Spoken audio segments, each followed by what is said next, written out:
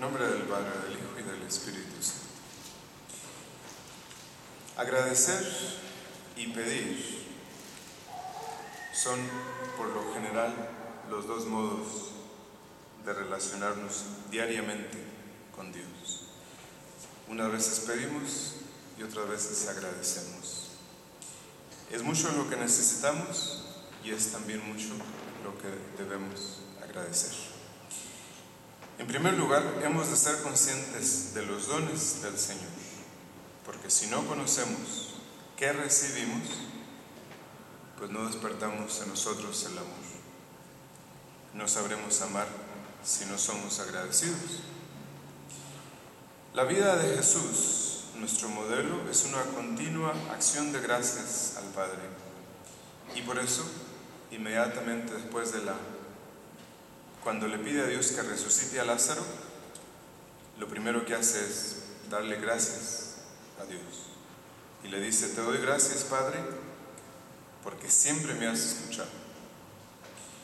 En la multiplicación de los panes, Jesús tomó los dos panes y los peces y dio gracias y se lo repartió. Y también en la institución de la Eucaristía, antes de pronunciar las palabras sobre el pan y el vino, también, dio gracias. Y así lo hizo en incontables ocasiones. Por eso podemos decir que su oración, la oración de Jesús, y toda su existencia se convirtió en revelación de esta verdad fundamental anunciada por la carta de Santiago que dice, todo lo bueno y todo don perfecto viene de arriba, del Padre de las luces.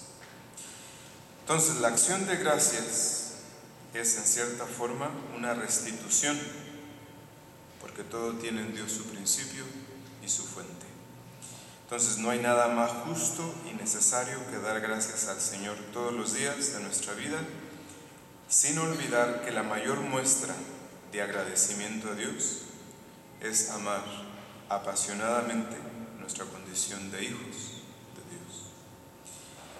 el principal reproche que San Pablo dirige a los paganos es que, habiendo conocido a Dios, no le glorificaron como a Dios, ni le dieron gracias, les dice.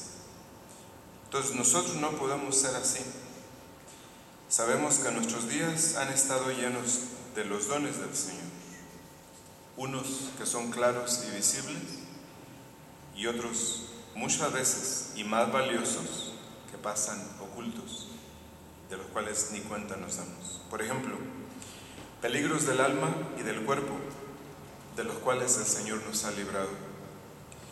Personas a las que hemos conocido y que tendrán una importancia decisiva en nuestra salvación. Gracias y ayudas que nos han pasado inadvertidas. Incluso acontecimientos que quizás hemos interpretado como algo negativo, como una enfermedad, un fracaso, un sufrimiento, un trabajo. Cosas así que más tarde veremos que en realidad han sido un regalo de Dios. Entonces nuestra vida entera, en general, es ya un bien que no merecemos. Por eso las acciones de gracias han de ser continuas deben ser actos de piedad y de amor para ser practicados toda la vida. También y precisamente cuando nos llega el dolor o la enfermedad. Si eso hacemos, vendrá la paz y entenderemos que aquello que parece poco grato o no deseable, de ahí sacará Dios mucho fruto. Posiblemente uno de nuestros mayores sonrojos al llegar al juicio va a ser el contemplar la cantidad enorme de regalos divinos que no supimos ni apreciar ni agradecer como tales, de los disgustos innecesarios que nos llevamos por lo que calificamos de indiferencia de Dios para lo que tantas veces le pedimos. Al menos entonces sí que le daremos gracia aunque sea avergonzados, porque tuvo la bondad de no escuchar tantas peticiones inútiles que le hemos hecho. Es muy posible que de hacernos caso y prestar oídos a nuestros ruegos, pudiéramos escuchar lo que el rico Epulón escuchó una vez en aquel lugar de fuego cuando dijo, Hijo, acuérdate de que recibiste ya tus bienes en la vida. Qué sorpresa entonces cuando descubramos que los hombres, con más fe y visión sobrenatural, habrían podido ver un gran bien en muchos de los acontecimientos que nosotros consideramos ahora como males. ¿Cómo agradeceremos al Señor los sinsabores que permitió en nuestra vida?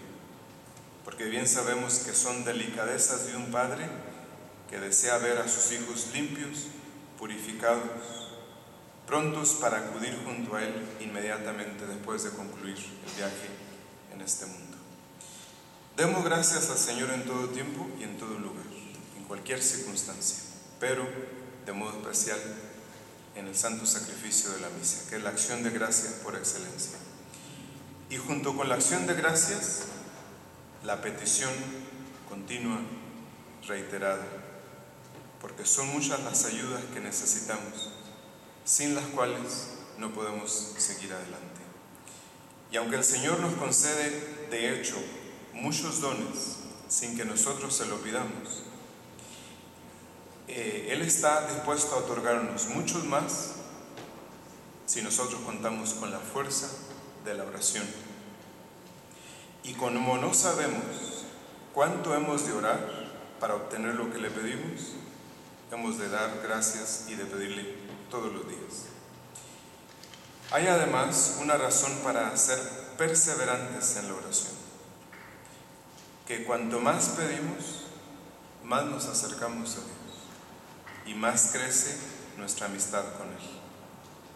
Entonces en la tierra, cuando hay que pedir algún favor de una persona poderosa, pues buscamos un lazo que nos una con Él, el momento oportuno o que esté de buen ánimo.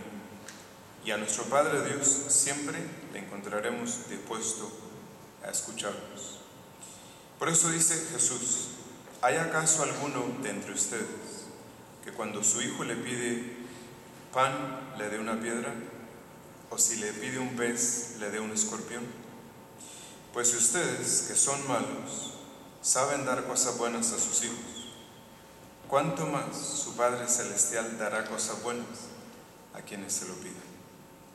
Disponemos de todos los motivos para acudir con confianza a nuestro Dios. Nada puede quebrantar esa fe, nada puede legítimamente atenuarla. Ahora bien, ¿qué tenemos que pedir? ¿O quién no tiene cosas que pedir?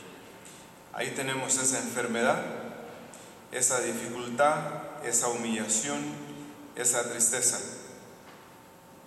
Ahí tenemos lo que nos oprime el corazón, la suerte de tantos que padecen de hambre y de sed, o de los que experimentan la amargura de la soledad. Pero lo que sí hemos de pedir, la gran miseria que nos hace sufrir, la gran necesidad a la que queremos poner remedio, primero y sobre todo, es el pecado, el alejamiento de Dios, el riesgo de que las almas se pierdan por toda la eternidad. Y tenemos además un camino que la Iglesia nos ha señalado desde siempre, para que nuestras oraciones lleguen con más prontitud a la presencia de Dios. Y este camino es la mediación de María, Nuestra Señora. Y entre las oraciones que la piedad cristiana ha dirigido a Santa María a lo largo de los siglos, es el Santo Rosario, que ha sido camino eficaz para toda petición, para toda necesidad. En nombre del Padre, del Hijo y del Espíritu Santo.